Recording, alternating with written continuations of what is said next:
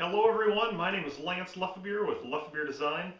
This is a Novatel SmartAg. This is a L1 only GPS and GLONASS receiver capable of running either autonomously on SBAS or DGPS, such as WAAS or EGNOS, or on RTK as either a rover or a base station.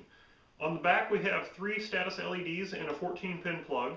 Uh, in the plug is two RS-232 serial ports, um, an emulated radar output, one pulse per second output, CAN bus, and of course the power input. The power requirements on this are 8 to 36 volts, so it works fine on uh, 12 and 24 volt machines.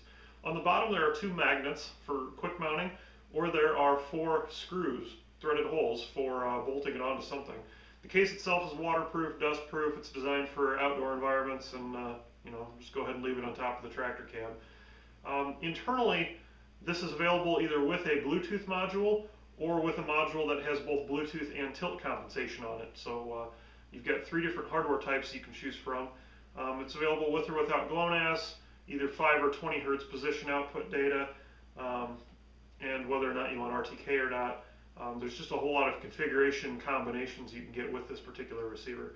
Uh, we do recommend that if you're running either autonomously or with uh, like WAAS or EGNOS, any of the SBAS systems, to go ahead and turn on the glide function.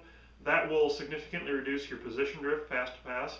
Uh, it's particularly popular with users in South America and places where there are no free correction systems because autonomously with glide will produce results approximately equal to WAAS only in the US. Now, of course, if you're in the US and you're using WAAS, go ahead and turn glide on as well because that'll cut your position drift in about half of what it would be without.